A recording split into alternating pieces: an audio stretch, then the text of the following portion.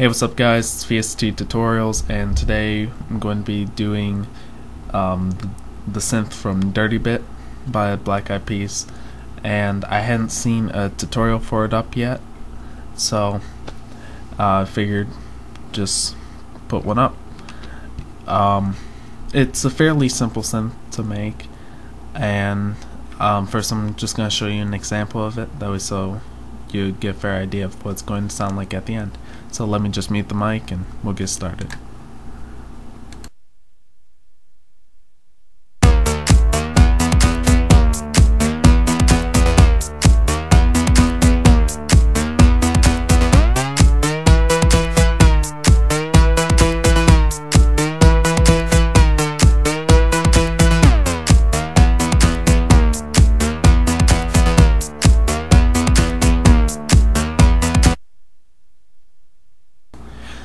So that's what's going to end up turning out like. So let's actually get into making the synth. Um, what I'm going to do, I'm just going to initialize this. That way so we have a clean combinator. Okay, so just start off with a combinator and in there I always like to open up with the line mixer just gives me a little bit more flexibility as far as levels. And we'll start off with the Thor Polysonic Synthesizer. And set the range to 12, just always so you have a full octave. And set the mode to mono legato. And turn on the portamento. And set that to 65.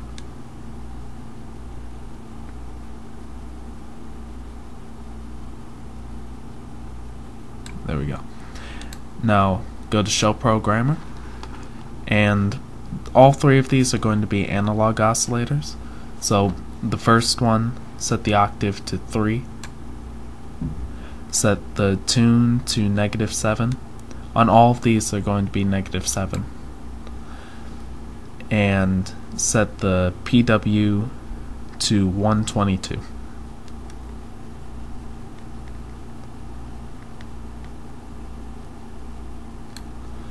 Then open up another analog, turn it on, and this octave is going to stay at 4, and going to bring the PW to 82.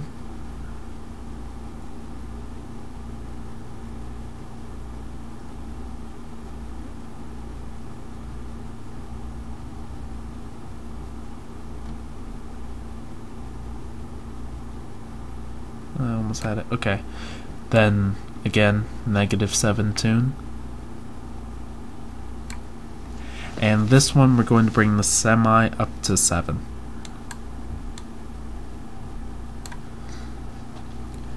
Next, open, open up another analog oscillator.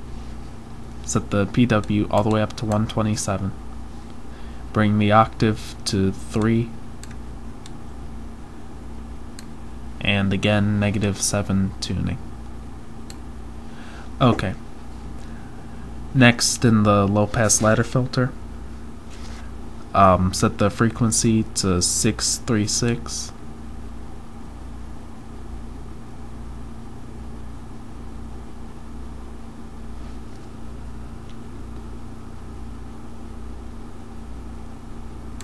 Alright, and set the res to 20.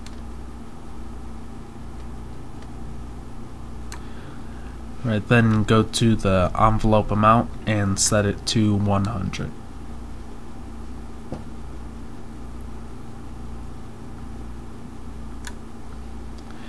Alright, then in the balance, in the mixer balance, set it to 90.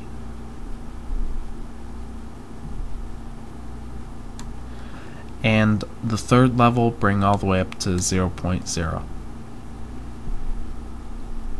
Okay. Next in the filter envelope, set the attack all the way down to zero, where it is. Set the decay to 5, 552.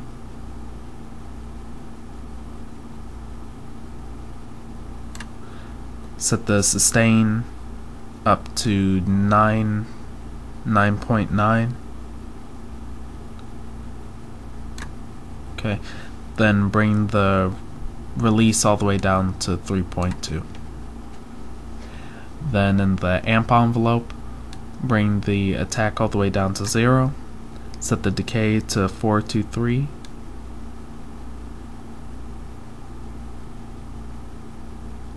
and I believe you have to hold down shift. Yep. And set the sustain to 15.5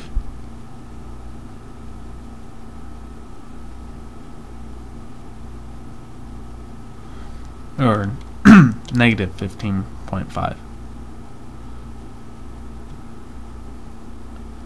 and you'll have to hold down shift okay then again bring down the release all the way down to 3.2. Okay. Next, that's it for the synth itself. Let's see how it turns out.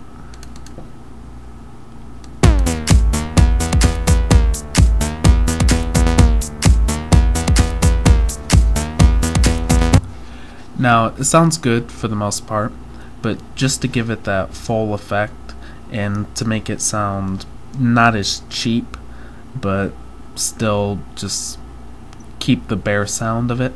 Um, let's open up a different compressor. Let's open up the the trying to find what was called oh the comp 01 compressor limiter and I use this compressor instead of the um, M class compressor because this seems to keep the fullness of it. And is still like boosts the levels but it's not overwhelming. But uh, whatever seems to work for you, you personally. Um, so keep the ratio at 64 bring the threshold up to 127 and bring the attack and release all the way down and this seems to boost the levels sort of, sort of in a way acting like a limiter. It still keeps it within the zero decibel limit, but it still boosts all of the levels, which I really like about this little compressor. So next, let's open up a unison filter. And uh, keep the detune at 40 and bring the dry wet to 55.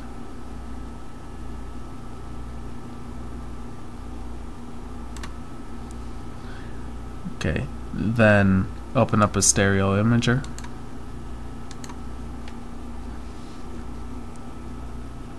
Set the low band to 20.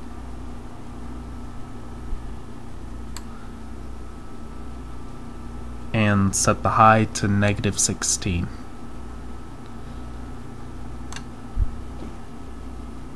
Okay, next let's open up a BV512 digital vocoder. And just so, so we can boost that slight mid frequency, um, let's switch this to equalizer and bring it to 4 band and just boost uh, band 3 like band 2 and 3's levels just a little bit just very very slightly Okay. Well, that's about it for this synth. Like I said, it's very, very simple. And now let's see how it turns out.